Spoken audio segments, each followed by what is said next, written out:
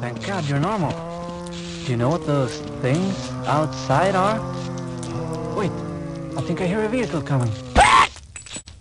Thank God, we're being rescued. Well,